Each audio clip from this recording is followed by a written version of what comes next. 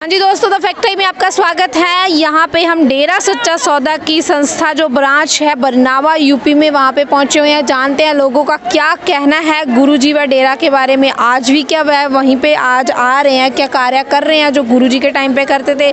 जुड़े हुए हैं यहाँ पे बुज़ुर्ग आए हुए हैं उनसे बात करते हैं। मैडम आपका नाम क्या है? बबीता जी। बबीता जी। आपका नाम क्या है? राजबाला।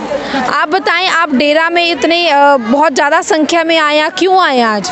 अच्छे काम के लिए आए जी गुरु जी अच्छे काम सिखाते हैं। हम बच्चों को सही शिक्षा देते हैं। बेटी बहन मानो लड़कों को सब भाई बहन अपनी बहन है माताएँ हैं गलत आँखों से ना देखो।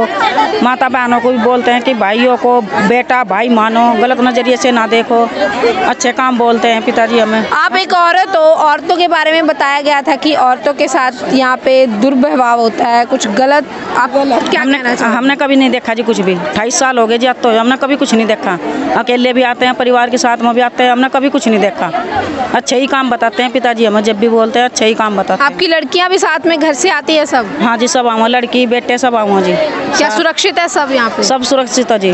डेरा और गुरुजी पे विश्वास है आज भी आज भी और मरते दम तक रहेगा जी। मरते दम तक पिताजी पर विश्वास। गुरुजी का कैसा स्वभाव था जब यहाँ पे गुरु जी आते थे? बहुत अच्छा स्वभाव था जी। सबको अच्छी शिक्षा देवते हैं। क्या शिक्षा देते थे? अच्छे काम करो नेक काम करो गलत काम ना करो नशे ना करो।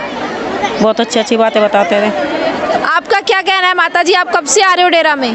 बेटा कभी मतलब मुजफ्फरनगर नाम दाम लिया था। मैं तो इस लाख हुई नहीं पिताजी का मंडप तक सत्संग ही नहीं सुना। मेरा परिवार भी बस बेलवाई बिरान में भी पिताजी की उड़ से बहुत दुखी होंगे पिताजी जल्दी से जल्दी आए।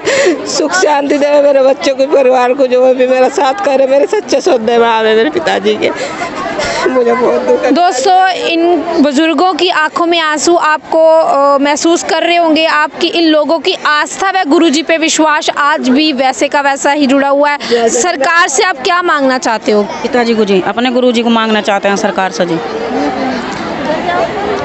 तो ये औरतें ये बुज़ुर्ग आज भी यहाँ पे आकर सुरक्षित महसूस करते हैं। आपका बहुत बहुत धन्यवाद माता जी द फैक्ट्री में जुड़े रहने के लिए आपका बहुत बहुत धन्यवाद। आपकी क्या राय है डेरा व गुरु जी के बारे में? हमारे कमेंट बॉक्स में ज़रूर बताएँ। धन्यवाद।